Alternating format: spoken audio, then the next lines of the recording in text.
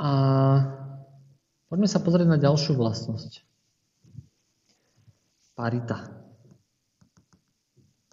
Je funkcia párna alebo nepárna?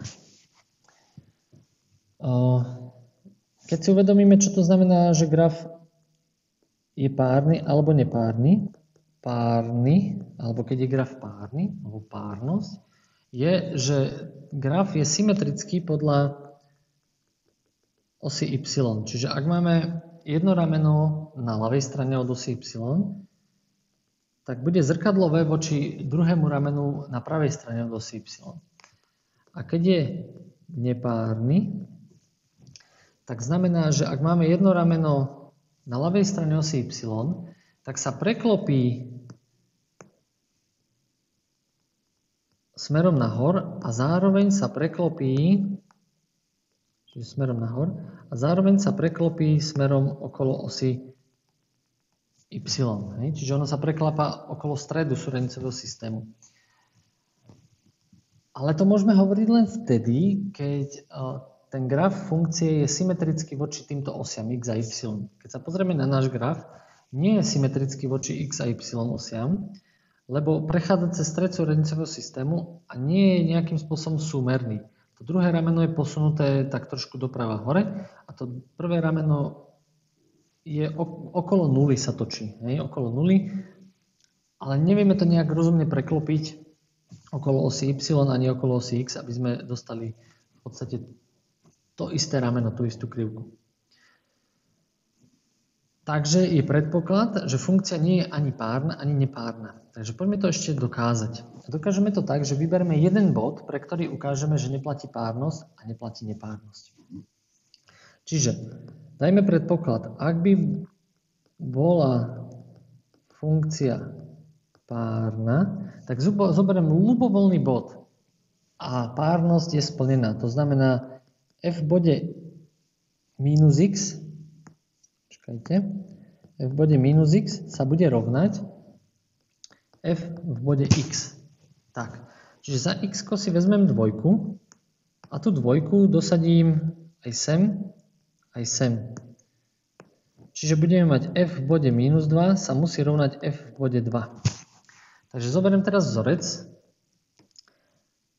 y rovná sa 1 plus 1 lomeno x minus 1 a dosadím za to x tú dvojku. Tú dvojku dosadíme vlastne za toto x v oboch prípadoch. Respektíve, aby sme boli presnejší, budeme dosádzať budeme dosádzať tieto hodnoty minus 2 a 2. A musia sa rovnať. Takže pre minus dvojku y rovná sa 1 plus 1 lomeno minus 2 minus 1. To sa rovná 1 plus 1 lomeno minus 3. To sa rovná 1 minus 1 tretina. To sa rovná 2 tretiny. A druhé y sa bude rovnať, keď dosadíme dvojku pre dvojku. 1 plus 1 lomeno 2 minus 1 rovná sa 1 plus 1 lomeno 2 minus 1 je 1, 1, čiže to 1 plus 1 rovná sa 2.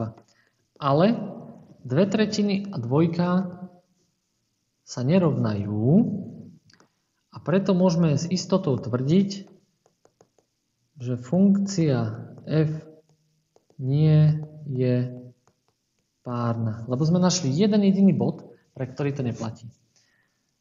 Skúsme dať druhý predpoklad.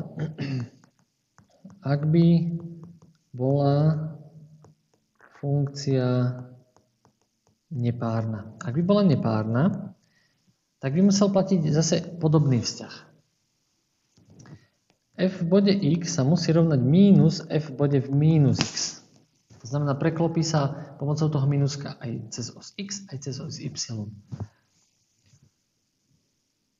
Zase dajme x rovné dvojke a tým pádom tá dvojka sa vloží sem a vloží sa aj sem. Takže budeme mať f v bode 2 sa musí rovnať mínus f v bode mínus 2. Lebo to mínusko tam musí ostať, lebo tam vkladáme len dvojku k tým mínuskám. Tak poďme to vyčísliť.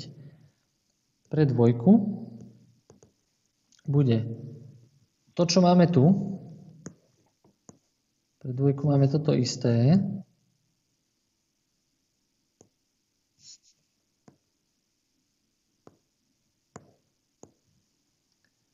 Pre dvojku sme dostali toto isté. Takto.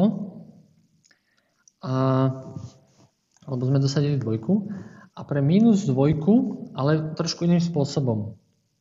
Pre minus dvojku bude platiť toto y sa rovná, ale musíme tam mať to mínus. Áno, čiže musíme pre minus dvojku a navyše dať tomu mínusko.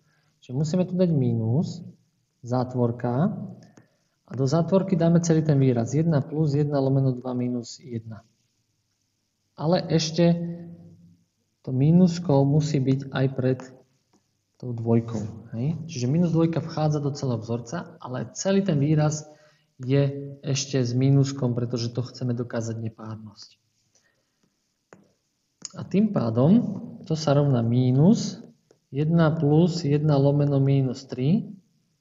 To sa rovná mínus 2 tretiny. Minus 2 tretiny sú rôzne ako dvojka. Čiže môžeme s kľudným svedomím tvrdiť, že funkcia f nie je párna. Čiže nie je ani párna, ani nepárna.